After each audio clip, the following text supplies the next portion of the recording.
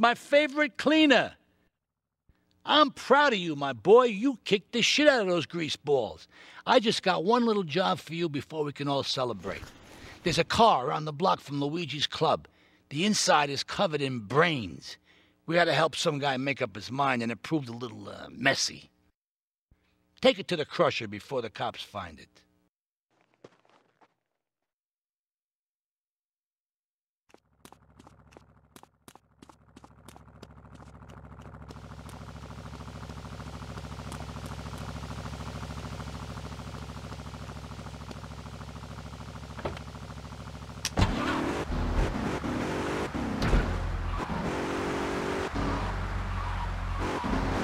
Get off the road!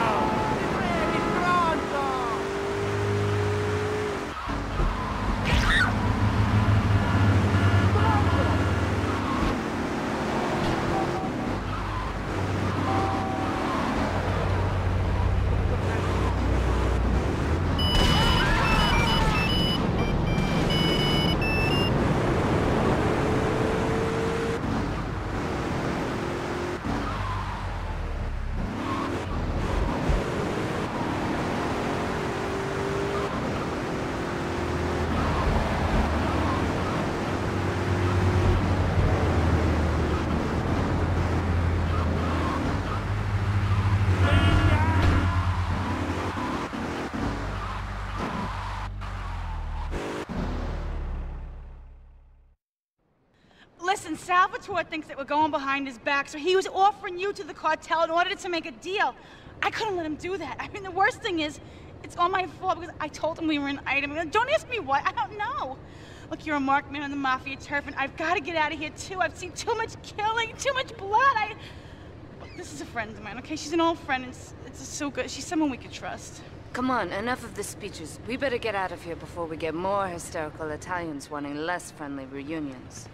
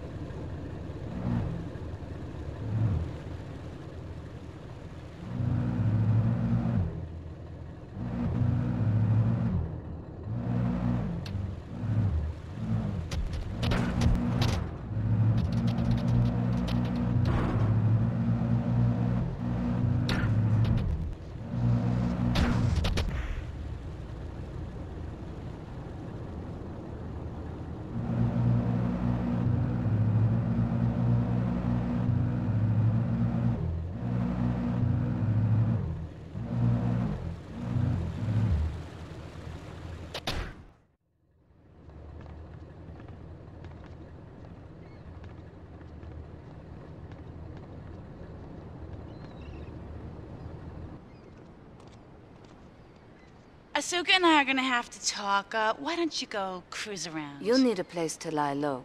There's a warehouse at the edge of Belleville that should suit your needs. Come back here to my condo when you're ready, and you and me can have a little chat.